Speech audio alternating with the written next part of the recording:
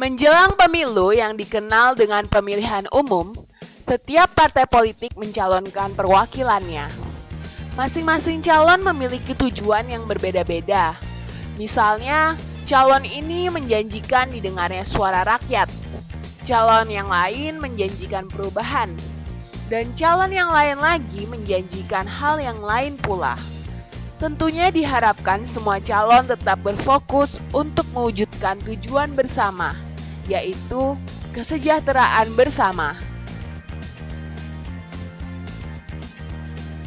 Di masa kampanye, media massa berperan penting.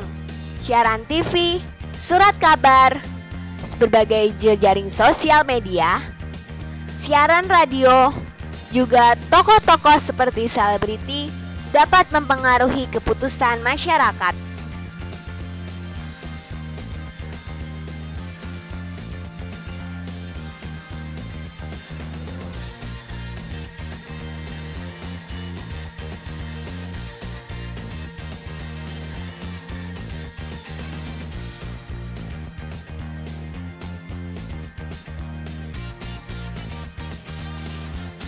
Masing-masing individu diharapkan dapat memilih seorang pemimpin yang benar-benar dapat dipercaya untuk memimpin bangsa.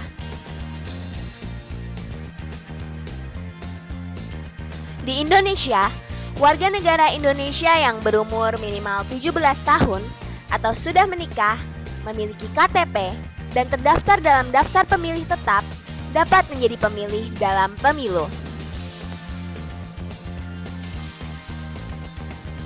Pemilu di Indonesia yang diselenggarakan oleh KPU harus dilaksanakan secara langsung, umum, bebas, rahasia, jujur, adil, atau dikenal dengan luber jurdil.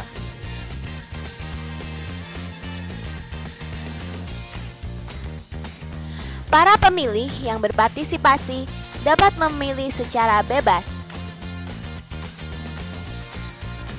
Namun, ada beberapa masyarakat yang memilih untuk tidak berpartisipasi dalam memilih karena alasan tertentu.